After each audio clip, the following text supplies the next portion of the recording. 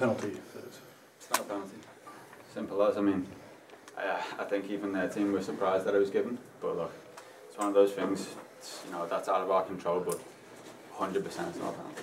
What was the referee saying, uh, for the arguments? Couldn't tell you honestly. Um, you know, we, we've obviously questioned, you asked them, you know, what, you know, what's the reason for the penalty, and he honestly couldn't really give us one. Um, he just said the linesman has called it as a penalty as well, um, which I'm not sure what, how he could see it from there. But I've literally played the ball. Strikers come and kicked my leg, so if anything, it should be a free kick the other way.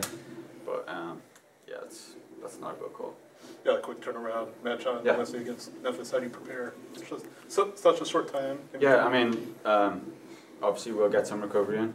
Um, we've obviously had a weekend off, um, so we have another game. So I think it's important for everyone to get that recovery in and um, get straight back to work on Monday. You know, um, I think that second half was very positive for us, and you could you could feel the crowd um, riding off the energy and, and the chances that we were creating. And we just got to be a little bit more clinical in the in the final third, and you know have a little bit more quality in, in those areas, and we'll be fine.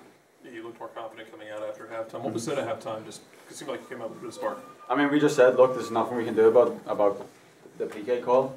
Uh, the second goal is just, you know, we just misjudged it. They they're on a breakaway and they, and they uh, and they punished us for that. And we just said, look, we're right, we're right in the game. Um, we felt like we, we had the quality to, to go out and and uh, and score, you know, three four goals easily in the second half. And I think our chances proved that. We just got to take those and we'll be in good shape. Anything else for Jack? All right.